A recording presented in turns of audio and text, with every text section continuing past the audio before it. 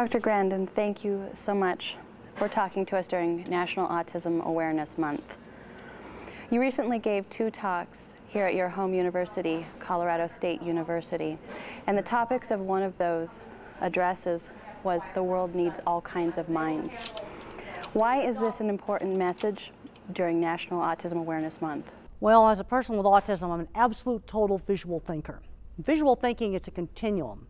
One end of the spectrum, you have someone like me, where everything I think about is a specific visual picture. In the HBO movie, there's a scene where a whole bunch of shoes come up in rapid succession. When I design cattle handling facilities, I can actually test run them in my head. But it's important to have different kinds of minds, because different kinds of minds are good at different things. Like, for example, in scientific research, what I'm good at is visualizing the methods of an experiment. Are the methods of this experiment really being done in such a way that it's not confounded? Because I can actually see the cattle or other animals in my mind. Then you need to have the mathematician kind of thinker to do the statistics. But you need to have both kinds of minds to get good projects. Dr. Grandin, you've designed humane livestock handling systems that are used by the largest producers and processors in the world. Please tell us about a couple designs, and maybe the ones that you think in particular are the most influential. Well, I designed a piece of equipment called the Center Track Conveyor Restrainer System. Half of all the cattle in North America are handled in this piece of equipment when they go to meat plant. Um, I've designed curved handling systems. But the other thing I've really worked on is you got to get rid of the things that cows are afraid of. Reflections on wet floors, chains hanging down, seeing people up ahead, air blowing on them. It's too dark. Another big project I worked on was the uh, Im implementing auditing that was done by McDonald's, Wendy's, and other hamburger companies. And I came up with five simple things to measure. And they're outcomes of a lot of other problems. Like, for example, to pass the audit, only 1% of the cattle is allowed to fall. You see, you want to measure the things that, that, can, that can measure a multitude of problems. They're called critical control points. Would it be fair to say then that it's partly your mind and the, the pictures, the, the visual things that you see that are similar to animals that have had as much impact? When I first started out working with cattle in the early 70s, um, the idea of looking in a chute and seeing what cattle were seeing, people thought that was just crazy. Okay, I mean, it's, now it just seems like common sense. But they, I, you know, I, I, I didn't know that most people didn't think visually. You're known as someone who's constantly working what can you tell us about your next big idea or the next big challenge you're working on that will really have a significant impact on the food industry. Well, we need to be getting young people interested in hands-on things. I'm very concerned about how the schools have taken out all the hands-on classes. A lot of the kids that are the visual thinkers, they're just getting addicted to video games, they're just getting in trouble and things like that because they don't have a good teacher to get them turned around. What turned me around in high school when I wasn't studying was my science teacher. If I hadn't had my science teacher, I wouldn't have gotten a PhD, I wouldn't have gone to graduate school, I wouldn't have done a lot of things. Talking about the hands-on or the lack of it, you teach a livestock handling class here at CSU, and you also lecture on animal ethics. Of course, you work closely with graduate students in the Department of Animal Sciences too. What are some of the key ideas that you hope to convey to your students? I really want to emphasize, get students to be more observant.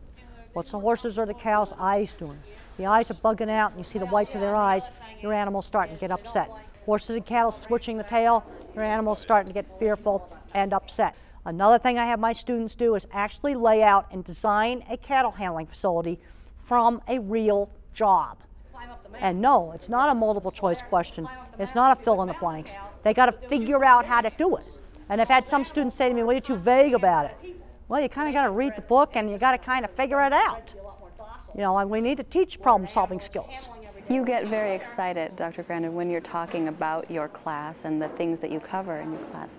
What is the most rewarding thing for you about teaching, or what do you like most? Oh, I love it when somebody says, well, I designed one of the corral systems and it really works, or we just used some of your pointers on handling cattle and it really worked.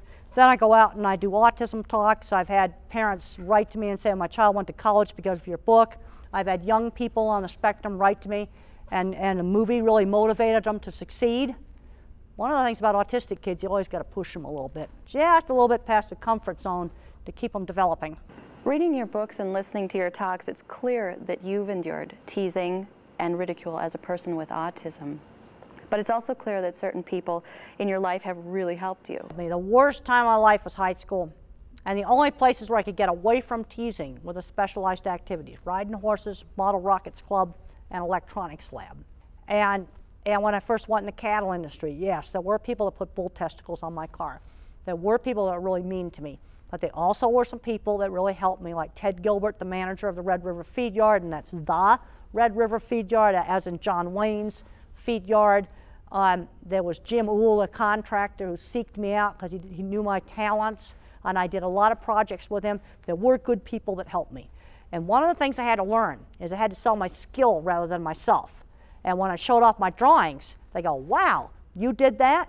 Then maybe, um, maybe they would talk to me. You often discuss the importance of identifying strengths with students that have autism disorders, then matching those strengths with fields of study and potential careers, as you just did. Can you elaborate on that just a little more? Well, let's think about careers for visual thinkers. Good careers for visual thinkers, anything to do with industrial design. How about uh, kind of graphics, animation, uh, anything to do with any kind of visual media. Uh, things like training animals, doing photography, um, maybe putting up all the AV equipment for big conventions. Okay, then our pattern thinkers, our music and math minds. These kids are going to be great at programming, engineering, uh, mathematics, statistics, all kinds of these kinds of, uh, of things. And again, in designing a lot of high-tech products, we need to have the combination of the industrial designer and the electronics and the engineering kind of mind. And then you've got people that are the word thinkers. They make really good journalists, very good at record keeping. Uh, they'd be very good working in a lab, just making sure your data doesn't get mixed up. We need to be working on finding jobs in the area of strength. So that goes back to what you were what you mentioned earlier and the people who took interest in you and your mother who encouraged you to build skills in other areas. Is that responsibility in, on an educator or is it on a parent? Where does the, the responsibility initially lie? Teachers and parents need to work together. And the thing is, you've got to push these kids some. Otherwise, they're not going to develop. No surprises, surprises scare. My mother was always pushing me to do new things. When I was 15, I was afraid to go to my aunt's ranch. The choice I had was one week or all summer. I wasn't allowed not to go. You know, there was another parent told me that her child was scared to go to sleepaway camp. Well, he got to sleepaway camp and he find out he found out he just loved it. You know, scared to try new things. You always got to push a little bit, but no surprises because that causes panic. So, in our conversations, one thing that I sense from you all the time is that you're always learning, you're always seeking, you're always reading new literature, new research on, on a wide variety of topics. Is that one characteristic in and of itself that's really contributed to your success? See, a person with autism always keeps learning. People have told me my talks at 60 are better than my talks at 50. You see, I'm a bottom-up thinker. I have to learn everything by specific examples. So the more things I get out and see stuff, you know, when I first started out in livestock handling, I went to every feed yard in Arizona and I worked cattle. So the more stuff I could see, I could see where this facility worked really well. This place had a nice loading ramp. The other place had a nice sorting pen. And then I could start, you know, putting the pieces together. Dr. Grandin, thank you so much for taking the time to visit today. Really appreciate your, your insight. It was great to be here.